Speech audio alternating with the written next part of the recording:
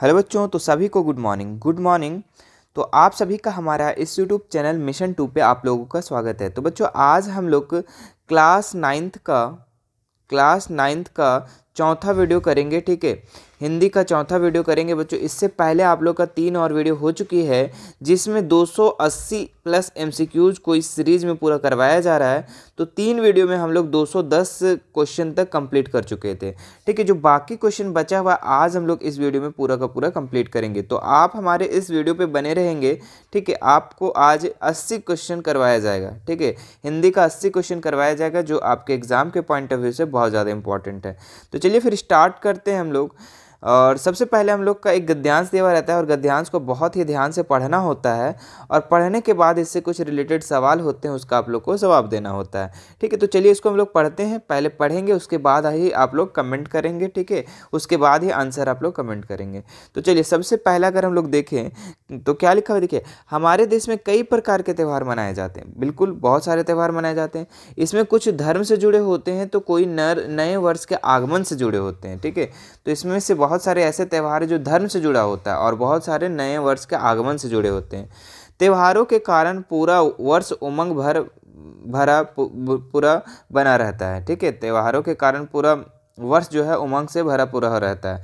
नव वर्ष के आगमन के समय तो खेत लहलहाने लगते हैं। नए जब वर्ष आते हैं, उस समय खेत बहुत लहलहाने लगता है। मतलब कि वहाँ फ़सल बहुत ज़्यादा लहलहाने लगता है। उनकी कटाई आरंभ हो जाती है। किसान का मन भी प्रफुल्लित तो हो जाता है। इसी प्रकार महापुरुषों की याद में मनाए जाने वाले त्यौहार हमारे मन को देशभक्ति एवं गौरव की भावना से सर, सराबोर कर देती है। सभी त्यौहार का एक ही लक्ष्य है, हम सभी त्यौहारों को मिलजुल कर एक साथ हर्षोल्लास के साथ मनाएँ। और उसमें निहित अच्छे विचारों को संपूर्ण समाज में फैलाने में मदद करें, जिससे सभी धर्मों के लोगों में एकजुटता की भावना जागृत हो सके। ठीक है? तो यहाँ बहुत सारे ऐसे त्यौहार हैं जो धर्म से जुड़े होते हैं या फिर नए वर्ष के आगमन से जुड़े होते हैं। ठीक है? और सभी त्योहारों का एक ही लक्ष्य क्या है? ठीक है, कहाँ लिखा हुआ एक ही लक्ष्य क्या है? कि सभी त्योहारों को हम लोग मिलजुल कर मनाना चाहिए और समाज में अच्छे विचार को फैलाना चाहिए। ठीक है? और जिससे सभी धर्मों को एकजुटता की भावना मिल सके। ठीक है, अब देखिए इससे कुछ रिलेटेड सवाल है, इसका आप लोग को जवाब देना है। सबसे पहला नंबर क्वेश्चन क्या लिखा हुआ है? कौन से त्यौहार के समय किसान आनंदित होते हैं? ठीक है तो इसका आंसर आप लोग कीजिए फटाफट, ठीक है। इसका ऑप्शन है आपके पास, धार्मिक दृष्टि से जुड़े त्यौहार, महापुरुषों की याद में मनाए जाने वाले त्यौहार, नौ वर्ष के आगमन के साथ मनाए जाने वाले त्यौहार, इनमें से कोई नहीं। ठीक है? तो कौन से त्यौहार के समय किसान आनंदित होते हैं मेरे बच्चों? ठीक है तो नौ वर्ष के आगमन के समय, के साथ जो मनाए जाने वाले त्यौहार होते हैं ना, उससे किसान जो है काफ़ी आनंदित होते हैं, काफ़ी खुश होते हैं। तो ऑप्शन नंबर सी इसका बिल्कुल राइट हो जाएगा, ठीक है? चलिए आगे बढ़ते हैं हम लोग क्वेश्चन नंबर टू में, ठीक है? क्या लिखा हुआ है? कौन से त्यौहार हमारे मन में देशभक्ति की भावना जागृत कर देती है? ठीक है तो ऑप्शन ए है धार्मिक दृष्टि से जुड़े त्यौहार।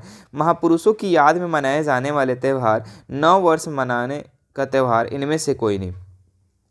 ठीक है तो कौन सा त्यौहार जो है हमारे मन की देशभक्ति की जागृत कर देते बच्चों? ठीक है तो यहाँ आप देखेंगे, ठीक है, इसका आंसर आप लोग कीजिएगा। यहाँ आप देखेंगे लिखा हुआ है, महापुरुषों की याद में मनाए जाने वाले त्यौहार हमारे मन को देशभक्ति देशभक्ति एवं गौरव की भावना का सरोवर कर देती है। ठीक है, अब देखिए इसका आंसर क्या हो जाएगा? टू नंबर का। ठीक है टू नंबर का आंसर क्या हो जाएगा? तो महापुरुषों महापुरुषों की याद में मनाए जाने वाले त्यौहार से क्या होती है? देशभक्त, देशभक्ति की भावना जो होता है, जागृत होती है। ठीक है तो ऑप्शन नंबर टू इसका बी इसका राइट हो जाएगा। चलिए आगे देखते हैं हम लोग, तीसरा नंबर सवाल।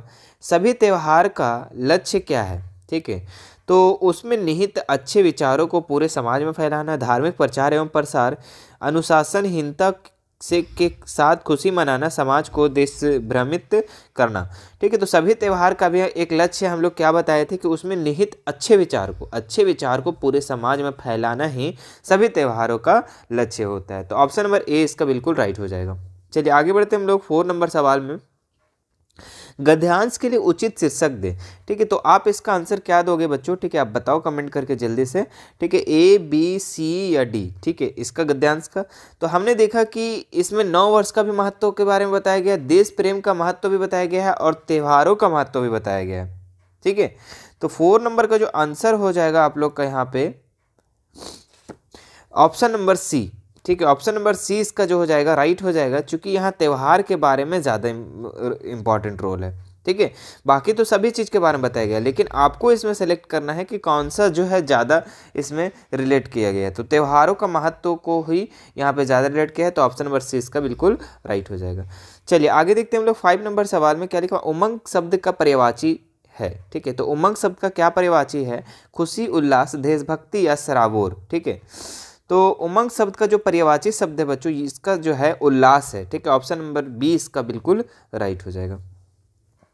चलिए, अब देखते हैं यहाँ पे छः से दस तक कुछ प्रश्न के लिए आप लोग को पद्यांश को पढ़ना होगा, ठीक? इस कविता को पढ़ना होगा और इससे बाद इसका रिलेटेड तो मैं इस कविता को एक बार पढ़ देता हूँ, उसके बाद आप लोग से सवाल पूछा जाएगा तो उसका आप जवाब देना है, ठीक है? क्या लिखा मैं जब अकेला होता हूँ तो मुझे मेरी माँ का प्यार याद आता है। सोच कर वक्त के उस दौर को मेरा रोम रोम हर्षित हो जाता है। याद आता है जब माँ मुझे सप्रेम खिलाती थी। ठीक है, दुलारती हुई सी वह मुझे गोद में बिठाया करती थी। नाज नखरों को भी वो मेरे तब हंस हंस के उड़ाया करती थी। बेटा मेरा शेर बनेगा कहती हुई मुझे दूध पिलाया करती थी। ठीक है, याद आता है जब मैं कभी डरता था ममता भरे आंचल में वो छुपाया करती थी, ठीक है? कितना अच्छा आप लोग का एक कविता है, ठीक है? अब इससे कुछ रिलेटेड सवाल है, अब इसको जवाब देना है, ठीक है? कवि को अकेले में किसकी याद आती थी? बताइए जल्दी से, इसका आंसर क्या हो जाएगा? माँ की, पिता की भाई बहनों की, दोस्तों की।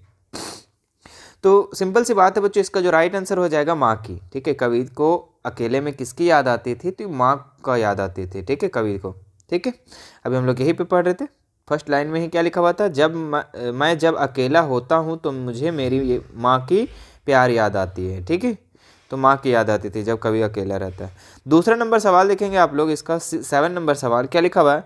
नाज नखरे उठाने का मुहावरे का अर्थ क्या है? ठीक है तो ऑप्शन आपके पास, सा प्रेम करना, हर तरह की इच्छा पूरी करना, शरारती करना, नाजुक बनाना, बनना।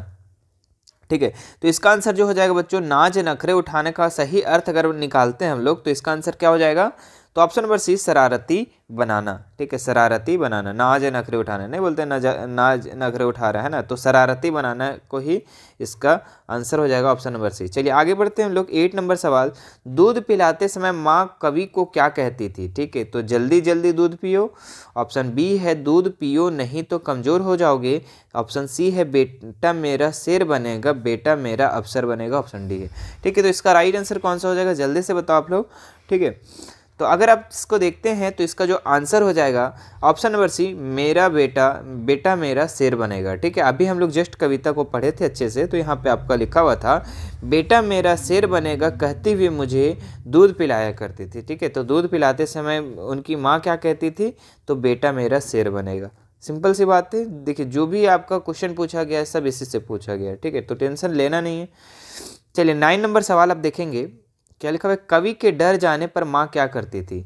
उसका मज़ाक उड़ाती थी, उसे डरपोक समझती थी, उसे डांटती थी, अपने ममता भरे आंचल में छुपा लेती थी। ठीक है तो कोई भी किसी का बेटा अगर डर जाता है तो उसको ममता भरे आंचल में छुपाने लेगी जी। ठीक है, उसका मज़ाक थोड़ा उड़ाएगी। ठीक है तो इसका आंसर कौन सा हो जाएगा? ऑप्शन नंबर डी इसका बिल्कुल राइट हो जाएगा। ठीक है, अपने ममता भरे आंचल में छुपा लेती थी। चलिए, टेन नंबर आप सवाल देखेंगे। प्रस्तुत कविता का उचित शीर्षक दे। ठीक है तो जो कविता है, इसका आप क्या और शीर्षक देना चाहेंगे? जल्दी से कमेंट करके बताओ। ठीक है, माँ का प्यार, माता का आंचल, माँ की ममता उपयुक्त सभी। ठीक है तो हम देखेंगे अगर बच्चों तो इसमें से उपयुक्त सभी इसका राइट हो जाएगा। क्योंकि यहाँ पे माँ का प्यार के बारे में बताया गया है, माता का आंचल के बारे में भी और माँ की ममता के बारे में बताया गया तो ऑप्शन नंबर डी इसका बिल्कुल राइट हो जाएगा। चलिए आगे देखते हैं हम लोग, खंड खा, इसमें व्याकरण है। ठीक है, इस व्याकरण से आप लोग को कुछ सवाल है, इसका आप लोग को जवाब देना है। क्या लिखा हुआ है? जो शब्दांश किसी शब्द के पहले जोड़कर उसके अर्थ परिवर्तन कर देते हैं, उसे कहते हैं, ठीक है? तो जो शब्दांश शब्द के पहले, देखो, क्या बोल रहा है? शब्द के पहले, शब्द के पहले जो जोड़ा जाता है ना बच्चों, उसको हम लोग उपसर्ग कहते हैं, याद रखना। क्या बोलते हैं उसको? उपसर्ग कहते हैं। है ना? और शब्द के अंत में जिसे जोड़ा जाता है और वो अर्थ में परिवर्तन ला देता है, उसको हम लोग प्रत्यय कहते हैं। ठीक है? तो यहाँ ग्यारह नंबर का आंसर कौन सा हो जाएगा? तो उपसर्ग ऑप्शन नंबर ए, इसका बिल्कुल राइट हो जाएगा। ठीक है? समझ में आ रहा है कि नहीं आ रहा है? बिल्कुल आना चाहिए। ठीक है? आगे बढ़ते हैं हम लोग बारह नंबर सवाल में। सुनारीन शब्द में किस प्रत्यय का प्रयोग हुआ है? ठीक है? देखिए, यहाँ प्रत्यय का मतलब क्या होता है कि शब्द जो पीछे लगा है। ठीक है? अब देखिए, यहाँ लिखा हुआ है सुनारीन। सुनारीन। ठीक है लास्ट में क्या आ रहा है? रीन। रीन रीन, इन। इसका क्या आ जाएगा? रीन का इन, है ना? लास्ट में क्या आ रहा है? इन। मतलब कि इन इसमें प्रत्यय लगा हुआ है तो ऑप्शन नंबर इसका सी इसका बिल्कुल राइट हो जाएगा। ठीक है डी भी है तो ऑप्शन नंबर सी या डी कोई भी हो सकता है। ठीक है, चलिए आगे देखते हैं हम लोग। आकाश का सही पर्यावाची है। ठीक है तो पक्षी गगन, धरती आग। तो आकाश का सही परिवाची अगर हम लोग देखें बच्चों तो क्या हो जाएगा? इसका आंसर बताओ फटाफट। ठीक है तो इसका आंसर जो हो जाएगा आप लोग का,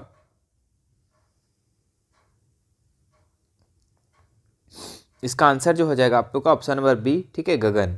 ठीक है, आकाश का सही परिवाची क्या हो जाएगा? गगन हो जाएगा। चलिए, आगे देखते हैं हम लोग, चौदह नंबर सवाल क्या लिखा हुआ है? सीता आम खाती है।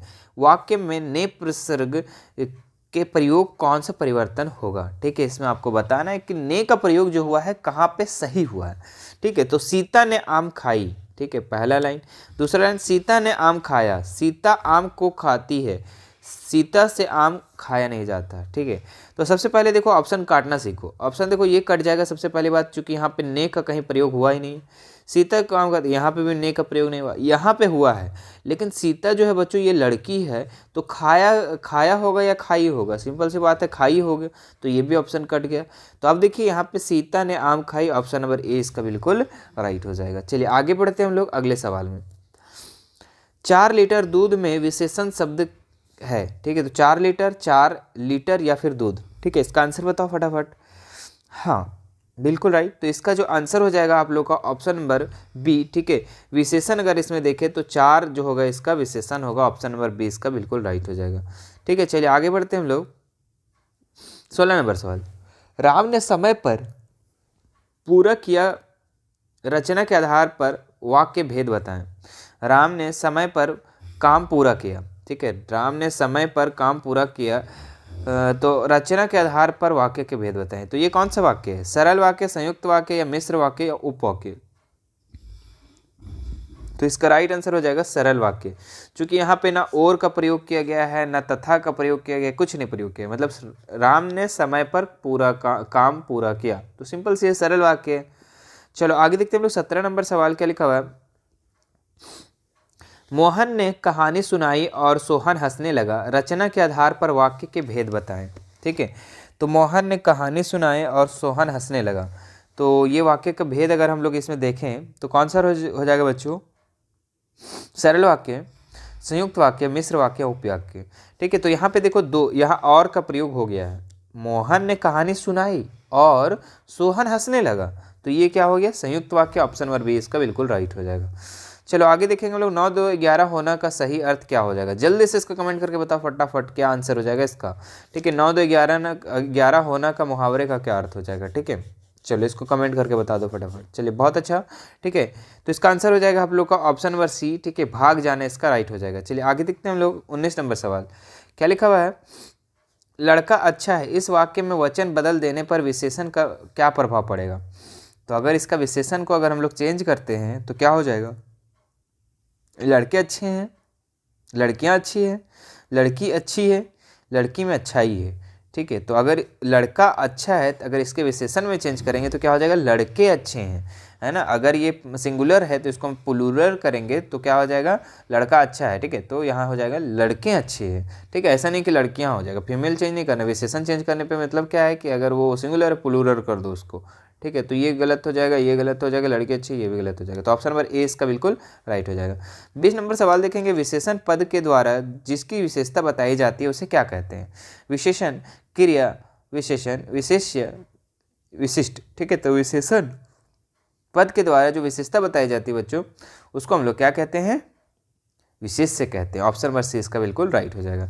चलिए खंड खाम गाँव में देखेंगे आप लोग, ठीक है? यहाँ पे आप लोग का प्रस्तुत गद्यांश को ध्यानपूर्वक पढ़ना है, ठीक है? और प्रश्नों को एक, इक्कीस से लेकर तीस तक का सही उत्तर का चयन करना है मतलब नौ क्वेश्चन यहाँ से है, ठीक है? अब देखो इसको हम लोग पढ़ते हैं, उसके बाद इससे रिलेटेड जो सवाल होंगे उसका हम लोग जवाब देंगे। क्या लिखा मोको कहाँ ढूंढे बंदे मैं तो तेरे पास में, ना मैं देवल, ना मैं मस्जिद, ना काबे कैलाश में, ना तो कोने क्रिया कर्म में, ना ही योग, बैराग में खोजी हो तो तुरते मिले हैं पल भर की तलाश में। कहें कबीर, सुनो भाई, साधो सब श्वास की श्वास में। तो ये जो कविता लिया गया है बच्चों, आप लोग का बुक से उठाया गया कविता है, ठीक है? सखियाँ पद जो आपका शब्द शब्द है, ठीक है? चैप्टर नाइन से लिया गया है। अब देखिए, इससे कुछ रिलेटेड सवाल है, इससे आपको जवाब देना है, ठीक है? प्रस्तुत पद के रचनाकार कौन है? तो कबीरदास, तुलसीदास, रायदास, सूरदास, ठीक है? तो इसका जो राइट आंसर हो जाएगा बच्चों, जल्दी से कमेंट बताओ, ठीक है? तो इसका राइट आंसर हो जाएगा कौन से पद से लिया गया है? ठीक है? तो ये कबीरदास इसका रचनाकार है, ठीक है? इस पद का तो ऑप्शन नंबर ए इसका बिल्कुल राइट हो जाएगा। आगे बढ़ते हैं हम लोग। बाईस नंबर सवाल, मनुष्य किसे ढूंढ रहा है? धन को, प्रसिद्धि को ईश्वर्य को या ईश्वर को? ठीक है? तो मनुष्य किसे ढूंढ रहा है बच्चों? ठीक है? तो मनुष्य जो ढूंढ रहा है, वो ईश्वर को ढूंढ रहा है। किसको ढूंढ रहा है? ईश्वर को ढूंढ रहा है। ऑप्शन नंबर डी इसका बिल्कुल राइट हो जाएगा। चलिए, आगे बढ़ते हैं हम लोग। बैराग का मतलब क्या है? ठीक है तो वैराग का मतलब क्या है? ऑप्शन ए है, विरागी, वैराग्य, विहार या विराजमान। ठीक है? तो इसका आंसर क्या हो जाएगा मेरे बच्चों? बताओ ये जल्दी से। ठीक है? तो इसका आंसर जो हो जाएगा आप लोग का ऑप्शन नंबर बी ठीक है, वैराग्य। वैराग का मतलब क्या है? वैराग्य। चलिए, आगे बढ़ते हम लोग। चौबीस नंबर सवाल, क्या लिखा है? पद में किन दो तीर्थ स्थलों के नाम आए हैं? काबा और काशी, काबा और कैलाश, मक्का और कैलाश, इनमें से कोई नहीं, ठीक है? तो इसमें बच्चों किस किस चीज़ का आया है, ठीक है? तो चलिए देखते हैं हम ऊपर में कि इस जो पद दिया हुआ है, इसमें दो तीर्थ तीर्थ स्थल के बात किया गया है। कौन कौन से तीर्थस्थल? है ठीक है? तो आप देखेंगे यहाँ पे न काबे और कैलाश में मतलब कि काबा और कैलाश दो तीर्थ स्थल के बारे में यहाँ बताया गया है। ठीक है तो यहाँ पे इसका कौन सा आंसर हो जाएगा? काबा और कैलाश, ऑप्शन नंबर बी इसका बिल्कुल राइट हो जाएगा। चलिए आगे देखते हैं हम लोग। निम्नलिखित में सही विकल्प का चयन करें। देखिए कि यहाँ पे क्या लिखा हुआ है? सब श्वासों की सांस में इस पंक्ति का क्या अर्थ है? ठीक है, सब श्वासों की सांस में इस पंक्ति का क्या अर्थ है बच्चों? ठीक है तो यहाँ ऑप्शन देख सकते हैं आप। ईश्वर सभी जीवों में कन कन में रहते हैं, ईश्वर कहीं नहीं रहते, हम सांस लेते हैं, सांस लेने में हमें तकलीफ़ होती है। ठीक है तो इसका आंसर बताइए, कौन सा हो जाएगा? तो इसका आंसर जो हो जाएगा बच्चों, ईश्वर सभी जीवों में कन कन में रहते हैं। सब श्वास के श्वास में का मतलब हुआ कि ईश्वर जो है सभी जीवों के कन कन में रहते हैं। चलिए, छब्बीस नंबर सवाल देखेंगे हम लोग। मानसरोवर में कौन विहार करते हैं? ठीक है तो मछलियाँ, हंस, मगरमच्छ या मनुष्य। ठीक है? तो मानसरोवर में कौन विहार करता है बच्चों? ठीक है, ये आपको बताना है। तो इसका जो आंसर हो जाएगा, इसका जो आंसर हो जाएगा, क्या हो जाएगा? हंस। ठीक है, मानसरोवर में कौन विहार करता है? तो हंस करता है। ऑप्शन नंबर बी इसका बिल्कुल राइट हो जाएगा। चलिए, आगे देखते हैं हम लोग अगले सवाल। कबीर दास का जन्म कब और कहाँ हुआ था? ठीक है कबीर दास का जन्म कब और कहाँ हुआ था मेरे बच्चों? ठीक है तो उन यहाँ ऑप्शन है आपके पास, तेरह सौ अंठानवे ईस्वी काशी में, तेरह सौ अंठानवे ईस्वी बनारस में, बारह सौ अंठानवे मथुरा में, या फिर बारह सौ अंठानवे उज्जैन में, ठीक है? तो इसका आंसर जो हो जाएगा आप लोग का, तेरह सौ अंठानवे, ठीक है? कब? तेरह सौ अंठानवे काशी में इसका जन्म हुआ था कबीर दास का तो ऑप्शन नंबर ए इसका बिल्कुल राइट हो जाएगा। आगे देखिए, अट्ठाईस नंबर सवाल, इनमें से कबीर की रचनाओं का संग्रह कौन है? बीजक साहित्य लहरी, काव्य रसायन, रामायण, ठीक है? तो कबीर के रचनाओं का जो संग्रह है, वो किसमें है बच्चों? तो बीजक में है। तो ऑप्शन नंबर ए इसका बिल्कुल राइट हो जाएगा। चलिए आगे देखते हैं लोग पाखा पखी का क्या अर्थ है, ठीक है? तो पाखा पखी का क्या अर्थ है बच्चों? यहाँ पे ऑप्शन है, लड़ाई, झगड़ा, सुख, दुख, सगुन, निर्गुण, पक्ष, विपक्ष। तो इसका आंसर हो जाएगा पाखा पखी का अर्थ क्या है? तो पच विपच ऑप्शन नंबर डी इसका बिल्कुल राइट हो जाएगा। चलिए तीस नंबर सवाल आप देखेंगे। संसार को किसके समान बताया है? हाथी के समान चीटी के समान कुत्ते के समान बिल्ली के समान। तो संसार को जो बच्चों किसके समान बताया गया है यहाँ पर? तो कुत्ते के समान बताया गया है तो ऑप्शन नंबर सी इसका बिल्कुल राइट हो जाएगा। चलिए आगे देखते हैं हम लोग। देखिए इकतीस से पैंतीस तक का सवाल का आंसर करना है। एक गद्यांश दिया हुआ रहता है, है और गद्यांश को आपको पढ़ना है और इसके बाद इससे रिलेटेड जो सवाल होंगे इसका जवाब देना। ठीक है? तो आप देखेंगे यहाँ पे एक गद्यांश से क्या लिखा हुआ है? आज दोनों के सामने फिर वही वही सूखा भूसा लाया गया। दोनों चुपचाप खड़े रहे, घर के लोग भोजन करने लगे। ठीक है? उस वक्त छोटी लड़की दो रोटियाँ लेकर लिए निकली और मुँह के, मुँह में देकर चली गई। उसे एक रोटी इनकी भूख तो क्या शांत होती? पर दोनों के हृदय को मानो भोजन मिल गया। यहाँ भी किसी सज्जन का वास है, ठीक है? तो ये लग रहा है कि ये दो बैलों की कथा से उठाया गया ध्यान से, ठीक है? तो ये सारे तो आप पढ़े हैं, ठीक है? आगे भी पढ़ लेते हैं क्या है? लड़की भैरव की थी, ठीक है? उसकी माँ मर चुकी थी। ठीक है, लड़की का पापा का नाम भैरव था ठीक है, उसकी माँ मर चुकी थी। सतोली माँ उसे मारती थी, इसलिए इन बैलों से उसे एक प्रकार का आत्मीयता हो गई थी। ठीक है तो बैलों से बहुत प्रेम करती थी, ये जो लड़की थी, छोटी लड़की, वो बहुत प्रेम करती थी, किससे? बैलों से। चलिए, आगे देखते हैं। दोनों दिन भर जोते जाते, डंडे खाते आते शाम को थान पर बाँध दिए जाते, और रात को वहीं बालिका उन्हें दो रोटियाँ खिला जाती। ठीक है? तो दो रोटी कौन खिला देती थी? छोटी लड़की। आगे देखिए, प्रेम के इस प्रसाद की बरकत थी कि दो दो गाल सूखा भूसा खाकर भी दोनों दुर्बल ना होते थे, मगर दोनों आँखों में रोम रोम में विद्रोह भरा हुआ था। ठीक है? तो ये आपका दो पहलू कथा से गद्यांश दिया। आप देखिए, इससे कुछ रिलेटेड सवाल है, इसका आपको जवाब देना है। तो सबसे पहला लाइन देखेंगे, इकतीस नंबर, क्या लिखा हुआ है? छोटी सी लड़की रात को दोनों दोनों में क्या खिल, खिला जाती थी? ठीक है? तो दोनों को क्या खिला जाते थे? दोनों बैलों को तो रोटियाँ, भूसा, चोकर, खल्ली। ठीक है तो छोटी लड़की जो रात में दोनों को क्या खिला जाती थी? तो रोटियाँ। ऑप्शन नंबर ए, इसका राइट हो जाएगा। आगे देखेंगे हम लोग, लड़की के पिता का नाम क्या था? ठीक है तो गया, झूरी, भैरव, इनमें से कोई नहीं। तो इसका आंसर क्या हो जाएगा? इसका आंसर जो हो जाएगा बच्चों, आप लोग का भैरव। ऑप्शन नंबर सी, इसका बिल्कुल राइट हो जाएगा। लड़के के पिता का नाम भैरव था। ऑप्शन नंबर सी, इसका बिल्कुल राइट हो जाएगा। आगे देखते हैं हम लोग, सौतेली माँ उसके साथ कैसा व्यवहार करती थी? ठीक है? तो उसे स्नेह करती थी, उसे मारती थी, उसे घर से बाहर निकाल देती थी, उससे बात नहीं करती थी। ठीक है तो सतौली माँ जो है, लड़की के साथ कैसा व्यवहार करती थी, ठीक है तो उसे मारती थी बच्चों ऑप्शन नंबर बी इसका बिल्कुल राइट हो जाएगा। चलिए, आगे देखते हैं हम लोग। चौंतीस नंबर सवाल, दोनों बैलों के साथ कैसा व्यवहार किया जाता था? वे दिन भर जोते जाते और डंडे खाते थे, वे दिन भर आराम करते, वे दिन भर खाना खाते थे, दिन भर सोते थे। ठीक है तो इसका आंसर कौन सा हो जाएगा? दोनों के बैलों के साथ बहुत बुरा व्यवहार होता था क्या होता था? दिन भर जोता जाता था और फिर डंडा भी खाता था। तो ऑप्शन नंबर ए इसका बिल्कुल राइट हो जाएगा। आगे देखते हैं उपयुक्त गद्यांश के लेखक कौन है? ठीक है तो ये गद, जो गद्यांश दिया हुआ आपको दो बैलों की कथा इस पर आप लेखक का नाम क्या है? ठीक है तो प्रेमचंद्र राहुल संस्कृतियान जाबिर हुसैन चपला देवी। ठीक है तो इसका आंसर कौन सा हो जाएगा? तो इसका आंसर हो जाएगा प्रेमचंद्र ऑप्शन नंबर ए इसका बिल्कुल राइट हो जाएगा। दो बैलों की कथा का जो लेखक है, उनका नाम प्रेमचंद्र था। आगे देखिए छत्तीस नंबर सवाल, तिब्बत की औरतें चाय किसमें कुटती थी? तो चौड़ी में चौड़ी में, चोंगी में चोंगी में, ठीक है? तो तिब्बत की औरतें जो है, चाय किसमें कुटती थी मेरे बच्चों? ठीक है तो ये आपका चौड़ी में कुटती थी, ठीक है? ऑप्शन नंबर बी इसका बिल्कुल राइट हो जाएगा। आगे देखते हैं आप लोग यहाँ पे सैंतीस नंबर सवाल। लेखक लेखक गलत रास्ते पर कितने मील चल गया? तो मील डेढ़ मील, एक मील, दो मील, तीन मील, ठीक है? तो सैंतीस का जो आंसर हो जाएगा बच्चों, लेखक जो है गलत रास्ते पर कितना मील चल गया? तो डेढ़ मील, ऑप्शन नंबर ए इसका बिल्कुल राइट हो जाएगा। अड़तीस नंबर सवाल देखेंगे आप लोग, क्या लिखा हुआ है? सेकर, विहार में कंजूर बुद्ध वचन अनुवाद, कितनी हस्तलिखियाँ पोथियाँ थी? ठीक है तो एक सौ एक एक सौ दो, एक सौ तीन, एक सौ पाँच। ठीक है? तो इसका राइट आंसर जो हो जाएगा बच्चों 103 पोथियाँ। कितनी पोथियाँ? 103 पोथियाँ ऑप्शन नंबर सी इसका बिल्कुल राइट हो जाएगा। उनचालीस नंबर सवाल देखेंगे, आप लोग क्या लिखा हुआ है? लेखक लनकोर के मार्ग में अपने साथियों के साथ किस कारण से बिछड़ गया?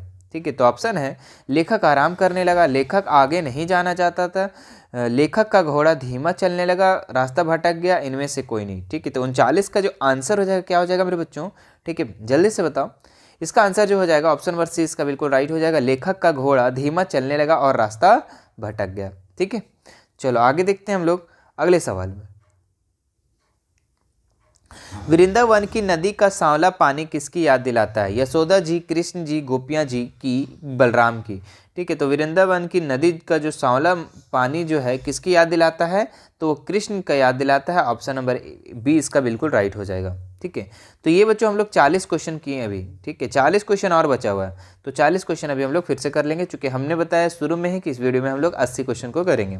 अब देखिए, यहाँ से हम चालीस क्वेश्चन और करेंगे, ठीक है? तो इससे पहले आप देखिए, यहाँ पे एक गद्यांश दिया हुआ है, इस गद्यांश को आपको ध्यान से पढ़ना है। पढ़ने के बाद इससे कुछ रिलेटेड सवाल होंगे, उसका आपको जवाब देना है। सबसे पहला लाइन में आप देखते हैं, क्या लिखा हुआ है? किसी भी काम को जब हम समय पर पूरा नहीं करते हैं तब उसका महत्व अधिक बढ़ जाता है। कोई भी काम को अगर हम समय पर कर दें तो उसका इंपॉर्टेंट है, काफ़ी बढ़ जाता है। बिल्कुल, उसका महत्व जो है, काफ़ी बढ़ जाता है। चिड़िया द्वारा खेत चुग जाने पर यदि रखवाला उसकी सुरक्षा करने की व्यवस्था करता है तो वह उपवास का पात्र बन जाता है। बिल्कुल, कि चिड़िया जब खेत चुग गया ठीक है। और उसके बाद जो उसका मालिक है, रखवाला है, वो फिर सुरक्षा कर रहा है कि ऐसे करेंगे तो नहीं चुकेगा। तो वो एक तरह से क्या बन जाता है? उपवास का पात्र बन जाता है, ठीक है। उसके देर किए गए प्रयास सब बेकार हो जाते हैं। ठीक है, यहाँ तक का क्लियर? आगे लाइन देखिए, यहाँ पे आगे लाइन क्या दिया हुआ है? परिश्रम का गौरव तभी है जब उसका लाभ किसी को मिल सके, ठीक है। तो परिश्रम का गौरव तभी है जब उसका किसी को लाभ मिलेगा, तभी परिश्रम करो, ठीक है? इसी कारण यदि बादलों का जल कृषक की फ़सल को फलने फूलने में मदद नहीं करता तो उसका बरसना व्यर्थ है। मतलब कि बादल जल के जो है, किसान के लिए फ़सल फूलने, फलने में मदद नहीं करता है तो फिर बरसना व्यर्थ है, बेकार है फिर, ठीक है? बादल जो बरसता है, किस लिए बरसता है यहाँ पे? कि कृषक लोग को फ़सल वगैरह में लाभ हो सके, है ना? और नहीं, जब समय पर नहीं बरसा तो बेकार है, व्यर्थ है बरसना फिर। अवसर का सदुपयोग नहीं करने वाला व्यक्ति बाद में पछताना पड़ता है। तो जब अपॉर्चुनिटी मिलता है, ठीक है तो उस समय कोई भी चीज़ को आप लोग को उपयोग कर लेना चाहिए। अगर नहीं कर पाते हैं तो बाद में आपको पछतावा पड़ना पड़ता है, ठीक है। जैसे कि अभी आप लोग को मौका मिल रहा है पढ़ने को, ठीक है। मौका मिल रहा है, अभी अपॉर्चुनिटी मिल रहा है कि आप अभी पढ़ो, ठीक है। लेकिन नहीं, आपको क्या करना है मोबाइल ये मोबाइल में ये यूज़ करना है, ठीक है। मोबाइल में फ्री फायर खेलना है, आपको यहाँ पे जो चीज़, अभी जो चीज़ प्रयोग करना है, उस चीज़ को आप प्रयोग करेंगे नहीं, ठीक है? आप अवसर को नहीं कर रहे हैं। तो बाद में आप इस चीज़ को पछताएँगे ना कि काश हम पढ़ लिए होते, हैं ना? तो इसी चीज़ का है यहाँ पे कि अवसर का सदुपयोग नहीं करने वाले व्यक्ति बाद में पछताना पड़ता है। अब देखिए, इससे कुछ रिलेटेड सवाल है मेरे बच्चों, ठीक है? अब इसका आप लोग को जवाब देना होता है। तो पहला नंबर यहाँ लाइन देखिए, काम का महत्व बढ़ जाता है, ठीक है? काम का महत्व बढ़ जाता है जब उसको भाग्य के भरोसे छोड़ दिया जाए। जब हम समय पर काम को पूरा कर देते हैं, जब उसे टाल दिया जाए, जब काम को नहीं किया जाए, ठीक है? तो काम का महत्व कब बढ़ जाता है? ठीक है, जब हम समय पर पूरा काम कर देते हैं तो वो उसका महत्व तो बढ़ जाता है। ठीक है तो ऑप्शन नंबर बी इसका बिल्कुल राइट हो जाएगा। पहला लाइन में ही आपका लिखा हुआ था। ठीक है, क्या लिखा हुआ था?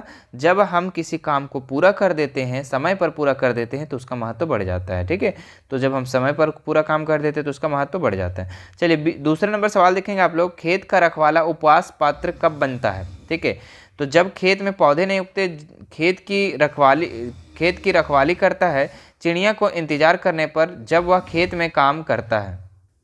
तो इसका जो राइट आंसर हो जाएगा, कौन सा हो जाएगा? तो ऑप्शन नंबर बीस का राइट हो जाएगा, खेत की रखवाली करता है। चलिए आगे बढ़ते हैं हम लोग। परिश्रम का गौरव किसमें है? ठीक है, जब प्रयास विफल हो जाए, जब हानि उठानी पड़े, जब उसका लाभ किसी को मिल सके, जब परिश्रम ना करना पड़े। ठीक है तो परिश्रम का गौरव कब है बच्चों? ठीक है तो जब उसका लाभ किसी को ना मिले, ठीक है किसी को मिल सके है ना? मिल सके सॉरी मिल सके। जब उसका लाभ किसी को मिल सके, तब परिश्रम का गौरव है इसमें, ठीक है?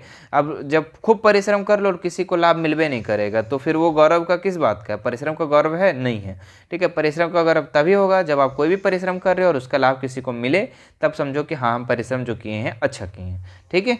चलो, आगे बढ़ते हैं हम लोग। फोर नंबर सवाल में क्या लिखा बादल का बरसना कब बेकार है? जब गर्मी शांत हो जाए, फ़सल को लाभ ना पहुँचे, किसान खुश हो जाए, नदी तालाब भर जाए तो बादल का बरसना बेकार कब है? जब फ़सल को लाभे नहीं पहुंचेगा तो फिर बादल का बरसना बेकार ना है? जी तो ऑप्शन नंबर बी इसका बिल्कुल राइट हो जाएगा। पांचवा नंबर आप सवाल देखेंगे, क्या लिखा हुआ किसान का पर्यवाची शब्द है। जवान, मजदूर, कृषक, रखवाला। ठीक है तो किसान का पर्यवाची शब्द अगर देखें आप तो क्या हो जाएगा? इसका कमेंट करके बताओ जल्दी से आंसर क्या हो जाएगा? बिल्कुल। तो इसका आंसर हो जाएगा कृषक, ठीक है? किसान का पर्यावाची शब्द क्या हो जाएगा? कृषक। चलिए, आगे देखते हैं हम लोग। एक गद्यांश एक पद्यांश दिया हुआ है, ठीक है? कविता दिया हुआ है, इस कविता को आप लोग को ध्यान से पढ़ना है। उसके बाद इससे जो रिलेटेड सवाल होंगे, उसका आपको जवाब देना है, ठीक है? तो यहाँ पे देखिए आप लोग, क्या लिखा हुआ है? सच है, विपत्ति जब आती है, ठीक है? प्रॉब्लम आती है, विपत्ति मतलब प्रॉब्लम, ठीक है? हाँ। कायर को ही दहलाती है, ठीक है? तीसरा लाइन है आपका, सुरमा नहीं विचलित होते क्षण एक नहीं धीरज खोते। ठीक है? विघ्नों को गले लगाते हैं, कांटों में राह बनाते हैं, मुख से ना कभी उफ कहते हैं, संकट का चरण ना गहते हैं। जो आ पढ़ता है सब सहते हैं। उद्योग निरत उद्योग निरत नित्य रहते हैं। सूल का, मूल नसाने का, को, बढ़ खुद विपत्ति को छाने को। कौन विघ्न ऐसा जग में? ठीक है, टिक सके वीर नर के मग में। खम ठोक ठेलता है जब नर, पर्वत के जाते पाँव उखड़। मानो जब ज़ोर लगाता है तब पानी, पत्थर पानी बन जाता है। ठीक है तो ये आपका पद्यांश देवा था, अब इससे कुछ रिलेटेड सवाल है, इसको आपको जवाब देना है। क्या लिखा, विपत्ति आने पर कौन डरते हैं? तो विपत्ति आने पर कौन डरते हैं बच्चों? ऊपर फ़र्स्ट लाइन में हम लोग देखे तो कौन डरता है विपत्ति आने पर? जब विपत्ति आती है तो कायर को ही दहलाती है। तो कौन डरता है बच्चों? कायर, ठीक है? तो ऑप्शन नंबर बी इसका बिल्कुल राइट हो जाएगा। चलिए, सातवां नंबर सवाल देख लो। विपत्ति आने पर कौन विचलित नहीं होते? तो सुरमा, कायर, डरपोक, दुखी, ठीक है? तो इसका आंसर जो हो जाएगा बच्चों, आप लोग का ऑप्शन नंबर ए सुरमा। सुरमा जो है, विपत्ति आने पर विचलित नहीं होते हैं। एट नंबर सवाल देखें आप लोग, क्या लिखा पत्थर पानी कब बन जाता है? जब मानव ज़ोर लगाता है, जब कायर भाग जाते हैं, जब मानव भाग जाता है, जब मानव मेहनत ना करे, ठीक है? तो पत्थर भी पानी कब बन जाता है मेरे बच्चों? जब मानव बहुत ज़ोर लगाता है, जब बहुत ज़ोर लगाता है तो पत्थर भी पानी में चेंज हो जाता है। मतलब कि आप खूब मेहनत करो, ठीक है? तो पत्थर को भी पानी में चेंज कर दोगे, है ना? चलिए, आगे देखते हैं हम लोग नाइन नंबर सवाल, सूल का पर्यावाची लिखें। तो फूल, पत्ती, फल, कांटा, ठीक है? तो सूल का परिवाचित शब्द जो होता है बच्चों, वो होता है कांटा। ऑप्शन नंबर डी इसका बिल्कुल राइट हो जाएगा। मानव शब्द का विलोम क्या है? तो मनुष्य, जानवर, दानव, देवता। इसका आंसर कौन सा हो जाएगा मेरे बच्चों? ठीक है तो इसका आंसर जो हो जाएगा, मानव शब्द का विलोम क्या हो जाएगा? दानव। ऑप्शन नंबर सी इसका बिल्कुल राइट हो जाएगा। चलिए, आगे देखते हैं आप लोग क्या लिखा हुआ है। व्याकरण से यहाँ दिया हुआ है, ठीक है? ग्रामर से अब इसका जवाब देना आप लोगों को। क्या लिखा हुआ है? सुगंध शब्द किस उपसर्ग में प्रयोग हुआ है, ठीक है? तो उपसर्ग हमने क्या बताया बच्चों? उपसर्ग में बताया कि जो शब्द के पहले लगता है उसको उपसर्ग कहते हैं। तो सुगंध, क्या लिखा हुआ है? सुगंध। सुगंध में पहला शब्द क्या लिखा हुआ है बच्चों? सु। तो मतलब किसका उपसर्ग क्या हो गया? सु। तो कहाँ पे है? ऑप्शन नंबर सी इसका है तो ऑप्शन नंबर सी इसका बिल्कुल राइट हो जाएगा। आगे देखिए, हम लोग बारह नंबर क्या लिखा हुआ है? जो शब्दांश किसी शब्द के अंत में जोड़कर उसके अर्थ में परिवर्तन ला देते हैं, उसे कहते हैं, ठीक है? तो यहाँ पे क्या बोल रहा है? शब्द के अंत में, शब्द के अंत में जोड़कर उसके अर्थ में परिवर्तन ला देना, उसको क्या कहते हैं बच्चों हम लोग? इसका जल्दी से बताओ आंसर कौन सा जाएगा? A number B number C number D number उपसर्ग प्रत्यय, संधि, समास, ठीक है? तो जो शब्द के अंत में लगता है ना बच्चों, उसको हम लोग प्रत्यय कहते हैं, ठीक है, याद रखना। और जो शब्द के पहले लगता है, उसको हम लोग उपसर्ग कहते हैं, ठीक है, याद रखना, ठीक है। चलो, आगे बढ़ते हैं हम लोग, तेरह नंबर सवाल। पानी शब्द का पर्यवाची है तो क्या है नदी, अग्नि, जल, बादल, ठीक है? तो पानी शब्द का अगर पर्यवाची हम लोग देखें तो कौन सा हो जाएगा? तो इसका ऑप्शन नंबर सी, इसका बिल्कुल राइट हो जाएगा, ठीक है, जल। जल है इसका पानी का पर्यवाची शब्द। चलिए, चौदह नंबर सवाल देखते हैं हम लोग। निम्न में से सही श्रुति श्रुति समर भिन्न समभिन्ना भिन्नात्मक शब्द युग्म कौन सा है? ठीक है तो अन्य, दूसरा, अन्य अनाज। ठीक है, बी नंबर देखिए, अन्य अनाज अन्न अनाज। ठीक है अन्न मतलब भोज अन्न मतलब भोजन अन्य मतलब भोजन अन्न मतलब भोज ठीक है तो इसमें देखिए ऑप्शन नंबर बी भी गलत हो गया चूँकि अन्य मतलब अनाज नहीं होता है ठीक है अन्य मतलब भोजन नहीं होता है ये भी कट गया अन्य मतलब भोज नहीं होता ये भी कट गया अन्य मतलब दूसरा होता है होता है ना कि अन्य लोग से बात करो मतलब दूसरे लोगों से बात करो अन्य जो बच गए हैं है ना तो अन्य मतलब दूसरा और अन्य मतलब होता है अनाज ऑप्शन नंबर ए इसका बिल्कुल राइट हो जाएगा चलिए आगे देखते हैं हम लोग पंद्रह नंबर सवाल घी के दिए जलना मुहावरे का सही विकल्प क्या होगा ठीक है तो ऑप्शन ए है, घी बर्बाद करना दुखी होना। ऑप्शन सी है, खुशी मनाना कोई नहीं, ठीक है तो घी का दिए कब जलाओगे बच्चों? जब खुशी मनाओगे, है ना? वरना तो तेल से, कोई भी तेल से आपको घी जल जाता है, तेल ये जल जाता है। लेकिन यहाँ पे क्या घी से दिए जलाने बोल रहा है तो ये खुशी मनाने का अर्थ निकल रहा है। तो ऑप्शन नंबर सी इसका बिल्कुल राइट हो जाएगा। चलिए, आगे देखते हैं हम लोग। सोलह नंबर सवाल, राम प्रतिदिन विद्यालय जाता है रचना के आधार पर वाक्य भेद बताएँ। तो सिंपल सी वाक्य लग रहा है बच्चों, ठीक है? कौन सा आंसर हो जाएगा? सरल वाक्य, संयुक्त वाक्य, मिश्र वाक्य या फिर योग रूढ़, ठीक है? तो इसका आंसर जो हो जाएगा, क्या हो जाएगा? सरल वाक्य, ऑप्शन नंबर ए इसका बिल्कुल राइट हो जाएगा। ए करने वाले बिल्कुल सही है। चलिए, आगे देखते हैं हम लोग। सत्रह नंबर सवाल, मोहन गाता है और राधा नाचती है। एक रचना के आधार पर कौन सा वाक्य के भेद है? सरल वाक्य, संयुक्त वाक्य, मिश्र वाक्य मिश्रित उपवाक्य ठीक है तो इसका आंसर कौन सा हो जाएगा बच्चों? ऑप्शन नंबर इसका बी हो जाएगा, चूँकि और लग गया यहाँ पे। मोहन गाता है और राधा नाचती है। ठीक है? चलो, और लग गया यहाँ पे संयुक्त वाक्य हो गया। मतलब दो वाक्यों को मिला करके बोला गया आगे देखिए, हम लोग शब्द संज्ञा या सर्वनाम की विशेषता बताते हैं, क्या कहलाते हैं? विशेष से विशेषण, परिवेशन, क्रिया विशेषण। ठीक है? तो अठारह का आंसर जो हो जाएगा बच्चों, विशेषण। ठीक है? जो संज्ञा या सर्वनाम की विशेषता बताता है वे विशेषण कहलाते हैं। ऑप्शन नंबर बी, इसका बिल्कुल राइट हो जाएगा। उन्नीस नंबर सवाल देखेंगे आप लोग। लड़का अच्छा है और लड़की क्या होगी? लड़की अच्छा होगा, अच्छी होगी, अच्छी होंगे अच्छा ही होगी। जब लड़का अच्छा है तो लड़की क्या होगी? बताओ इसका कमेंट करके जल्दी से। तो इसका आंसर हो जाएगा बच्चों ऑप्शन नंबर बी ठीक है, अच्छी होगी, ठीक है। लड़का अच्छा है और लड़की अच्छी है, ठीक है ऑप्शन नंबर बी इसका बिल्कुल राइट हो जाएगा। चलिए, आगे देखते हैं हम लोग, बीस नंबर सवाल। लड़का लंबा है, इस वाक्य में वचन बदल देने पर वाक्य क्या होगा? ठीक है तो लड़की लंबी है, लड़कियाँ लंबी है, लड़के लंबे हैं, लड़का लंबे की लंबाई। ठीक है तो लड़का लंबे है, अगर इसका विशेषण कर देते हैं पुलुलर पुलुरल कर देते तो क्या हो जाएगा? लड़के लंबे हैं ऑप्शन नंबर सी इसका बिल्कुल राइट हो जाएगा। ठीक है? अब देखिए, यहाँ से पाठ्य पुस्तक से क्वेश्चन है। अब इससे आपको दिया हुआ है, इस ध्यान को पढ़ना है बहुत ध्यान से, और उसके बाद आप लोग को जवाब देना है। क्या लिखा हुआ है? संतो भाई आई ज्ञान की आंधी रे भरम की टाटी सबय उड़ानी, माया रहे ना बांधी, हिति चित्त की दवय थूनी गिरान, गिरानी, मोह बलिंडा टूटा, तृष्णा छवि परी, घर ऊपरी कुबदी का फांडा फूटा। ठीक है, भांडा फूटा। आगे देखिए, जो वो जुगती, जो वो जुगती, करी संतो बांधी, निर्चु चुवय ना पानी, कूड़ कपट काया का निष्कया हरि की गति जब जानी। आंधी पीछे जो जल बूठा, प्रेम हरि जन भीना, कहे कबीर भान के प्रगट, उदित भया तम खीना। ठीक है तो ये आपका पद्यांश दिया हुआ है, आपके बुक से। अब इससे कुछ रिलेटेड सवाल, इसको आपको जवाब देना है।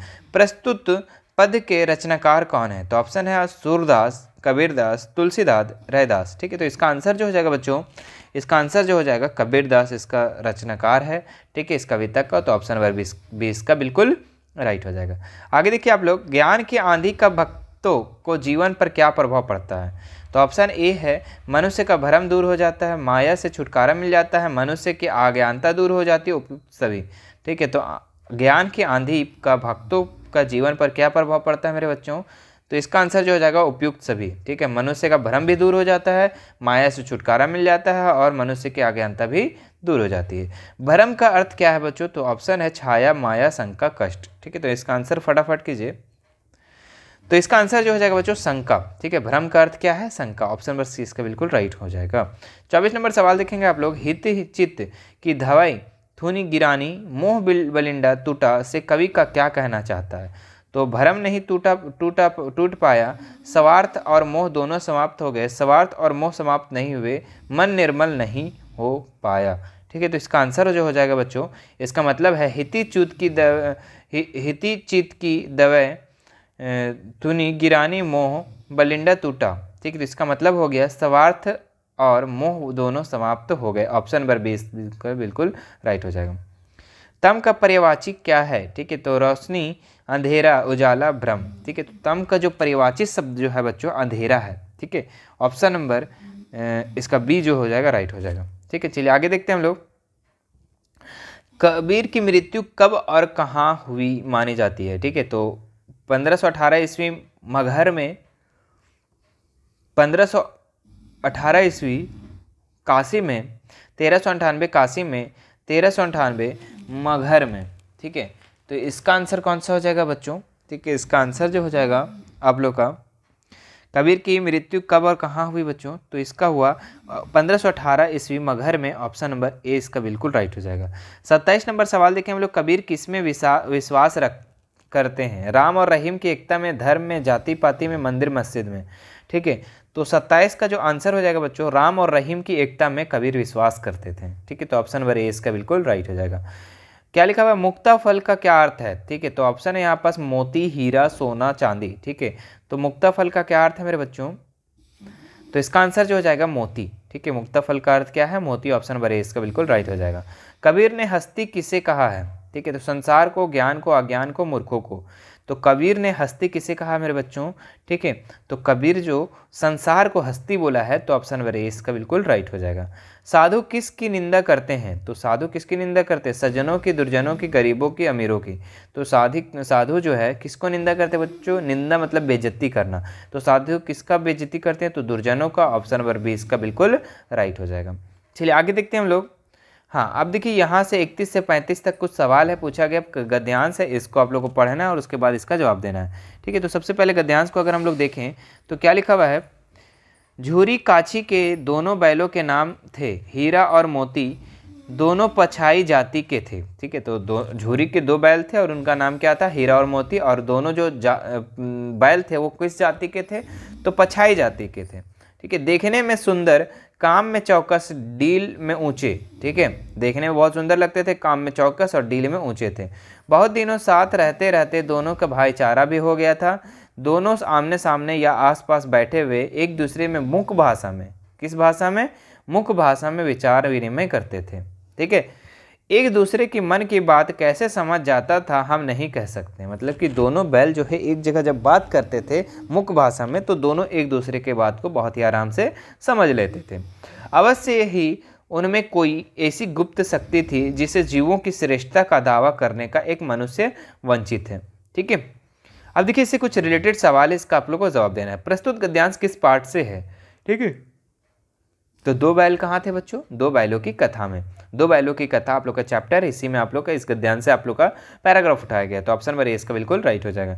दोनों बैलों का नाम क्या था? जल्दी से कमेंट करके बता दो, इसका आंसर क्या हो जाएगा मेरे बच्चों? ठीक है? झूरी और काछी हीरा और मोती, गाय और भैरव, सोना और रूपा। ठीक है? तो दोनों बैलों का नाम क्या था? हीरा और मोती। ऑप्शन नंबर बी करने वाले बिल्कुल सही है। चलिए, तैंतीस नंबर सवाल देखेंगे आप लोग। बैल किस जाति के थे? देसी, देहाती, पहाड़ी पछाई ठीक है तो हम लोग फ़र्स्ट लाइन में ही पढ़े थे, दो, बैलो किस जाति के थे तो पछाई जाति के, देख लीजिए, पछाई जाति तो ऑप्शन नंबर फोर इसका राइट आंसर हो जाएगा डी नंबर इसका आंसर राइट हो जाएगा। आगे देखते हैं हम लोग, दोनों बैलो एक दूसरे का विचार विनिमय कैसे करते थे, ठीक है तो बोलकर, लिखकर मुख्य भाषा में, मुख्य भाषा मुख्य भाषा में, ठीक है तो दोनों बैल अगर एक दूसरे से जो बातचीत करते थे, वो कैसे करते थे मुख्य भाषा में करते थे, बच्चों, ठीक है ऑप्शन नंबर सी इसका बिल्कुल राइट हो जाएगा। पैंतीस नंबर सवाल देखेंगे आप लोग। साथ रहते रहते दोनों बैलों में क्या हो गया? तो घृणा हो गया, भाईचारा हो गया, नफरत हो गया, दुख हो गया। तो इसका आंसर क्या हो जाएगा? इसका आंसर हो जाएगा भाईचारा। क्या हो जाएगा? भाईचारा हो गया था दोनों को साथ रहते रहते। अब देखिए, यहाँ पे कुछ सवाल है, इसका जवाब देना है। लासा की पाठ के लेखक का नाम क्या है? तो ऑप्शन है प्रेमचंद्र राहुल, संस्कृति यान जाविर हुसैन, महादेवी वर्मा। तो छत्तीस का आंसर हो जाएगा बच्चों, राहुल संस्कृतियान। लहासा की ओर का पाठ का लेखक का नाम क्या है? राहुल संस्कृतियान। ऑप्शन नंबर बीस का बिल्कुल राइट हो जाएगा। सैंतीस नंबर सवाल देखेंगे आप लोग। लेखक का साथ दूसरा व्यक्ति कौन था? लहासा की ओर पाठ के आधार पर बताएँ। ठीक है तो लेखक के साथ दूसरा व्यक्ति कौन था? सुमित, सुमति, सुमिति या सुमंत। ठीक है तो इसका ऑप्शन हो जाएगा कौन सा? सुमति। ऑप्शन नंबर बीस का बिल्कुल राइट हो जाएगा। ठीक है, चलिए अड़तीस नंबर सवाल देखेंगे आप लोग। मैं अब पुस्तकों के भीतर था, नीचे दिए गए विकल्पों में कौन सा सही है? ठीक है तो चार ऑप्शन है यहाँ पे। लेखक पुस्तकों की सेल्फ के भीतर चला गया। लेखक के चारों ओर पुस्तकें ही थी। पुस्तक में लेखक का परिचय और मित्र छप, छपा था।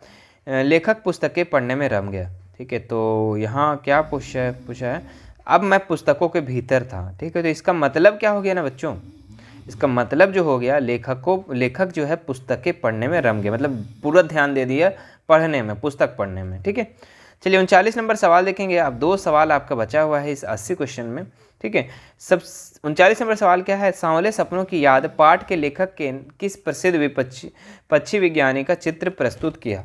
सबीर अली, सलीम अली, मोहम्मद अली सुबहान अली, ठीक है? तो सांवले सपनों की याद में पाठ में लेखक किस प्रसिद्ध पक्षी विज्ञानी का चित्र प्रस्तुत किया है बच्चों? तो सलीम का अली का तो ऑप्शन नंबर बी इसका बिल्कुल राइट हो जाएगा।